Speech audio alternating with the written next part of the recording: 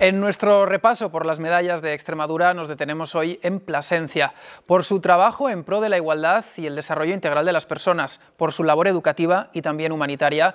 Recibe este sábado el galardón la Congregación de Hermanas Josefinas de la Santísima Trinidad.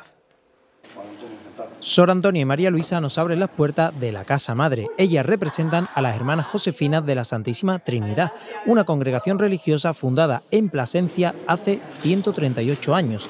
Sor Antonia no se esperaba que María Guardiola la llamase personalmente para darle la noticia de la medalla de Extremadura. De una manera muy, muy sencilla, eh, me dice María Antonia, bueno, Sor Antonia, mejor dicho, me dice Sor Antonia, mm, le hemos concedido a la congregación la mm, medalla de Extremadura. Me entró una, una emoción especial, especial, especialísima porque mm, no estaba la superiora general aquí, sino que estaba de viaje en México y por eso habían dado mi nombre. La superiora general es ella, María Luisa. Su relación con las distintas comunidades hace que esté continuamente viajando. Yo visito a cada comunidad con bastante frecuencia y bueno, pues tenemos reuniones comunitarias, encuentros personales con cada hermana, pues porque una de las misiones de, la Superiora General y del Consejo, que el Gobierno General está formado por la Superiora General y cuatro consejeras, es pues estar un poco pendiente de cada una de las hermanas, de cómo va la misión de las comunidades. Todos los lugares donde tienen presencia quedan reflejados en los pasillos de la Casa Madre. Su labor se ha desplegado a lugares tan lejanos como Chile o la India, pero siempre teniendo presentes sus orígenes. En esta galería tenemos la representación de todas las casas que hemos tenido en la península ibérica. En esta primera parte, como es natural, Extremadura. Y tenemos las distintas casas en Plasencia, en Cáceres y en, Badajoz. Hemos ido mm, sembrando el carisma josefino trinitario por distintos sitios. Estamos en Chile, en Perú, en México, en Honduras, hemos estado en India, en muchos países de Europa como Bélgica, Alemania, Francia, Portugal. Y es que su trabajo es fundamental. Con su misión trabajan para mejorar la calidad de vida de los sectores más desfavorecidos, desarrollando una labor tanto educativa como humanitaria. Nuestro carisma, que es un poco nuestro estilo de vida, ¿no? cómo vivimos y tal, la verdad es que es de muchísima actualidad. Nosotros hemos estado, por ejemplo, también en Piornal, en un, sanatorio de tuberculosos, tenemos aquí misión educativa, misión pastoral, tenemos actividades parroquiales, residencias de, de tercera edad, atención a sacerdotes mayores, o sea que es un carisma mm, que es de todos los tiempos. La fundación de esta congregación fue gracias a Eladio Mozas. Aquí en la capilla descansan sus restos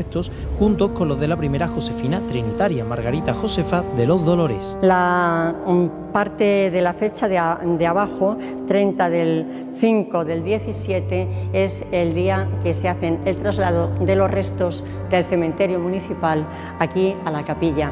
Esta capilla tiene un significado especial porque es cuando toman el santo hábito las 14 primeras Josefinas y entonces queda constituida ya la congregación. Tras ella llegaron más Josefinas Trinitarias y ahora con este premio se reconoce la labor de toda la institución, lo que le llena de orgullo. Es un reconocimiento a muchísimas hermanas que a lo largo de estos 138 años han dado su vida al servicio de los más vulnerables, en defensa de los más pobres, han trabajado mucho en promoción de la mujer y ese es el orgullo, que es a todo el instituto, no es, una, no es un reconocimiento mm, a una persona o a una misión concreta, sino a toda la congregación todo el trabajo que todas las hermanas han llevado a lo largo de este tiempo aquí en Extremadura y en todo el mundo. No se olvidan del Ayuntamiento de Plasencia, ya que la propuesta por la medalla fue idea suya. También es una medalla para esta ciudad, porque sin esta ciudad, pues posiblemente ese escenario en el que nace la orden pues ha sido difícil entenderla, ¿no? Por lo tanto, es también una medalla que compartimos emocionalmente con el Instituto de Josefinas de la Santísima Trinidad. Tampoco quedan en el olvido las hermanas que se encuentran de misión alrededor del mundo. Se agrada mucho pues, todos los acontecimientos que pasan y más aquí en Plasencia por ser la casa, la cuna, el hogar y es donde siempre venimos pues, para recibir la espiritualidad de Padre Ladio y de Madre Margarita que tenemos aquí, que es beber de nuestras fuentes de nuestro carisma, que es la glorificación de la Trinidad por medio de una vida sencilla, alegre, disponible. Un carisma reconocido con la mayor distinción de Extremadura por su labor y pasión durante los últimos 138 años, tanto en nuestra región como en el resto del mundo.